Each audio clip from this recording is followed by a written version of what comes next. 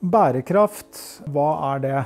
Altså Begrepets innhold handler om at man skal dekke nåtidens behov for alle borgere, uten å forringe fremtidsutsiktene for neste generasjons borgere.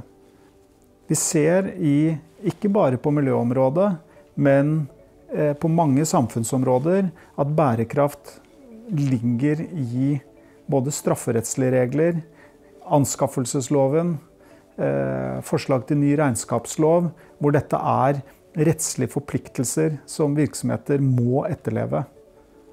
Etikken blir til juss, og sånn er jo utviklingen av rettsregler. Starter jo ofte med eh, moral og etikk. Og lover og regler eh, utvikler seg i etterkant av det.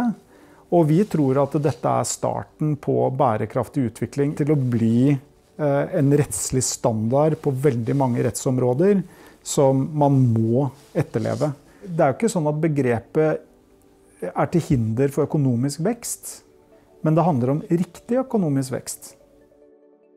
Og da må det jo inn i styringssystemer, oppfølging og kanskje det man mer vanlig tenker på som compliance.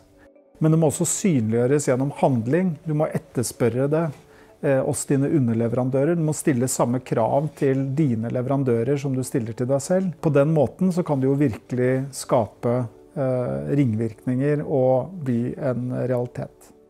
Bærekraft handler til syvende og sist om hvem er det jeg vil være. Det handler om gjennomføring og handlekraft.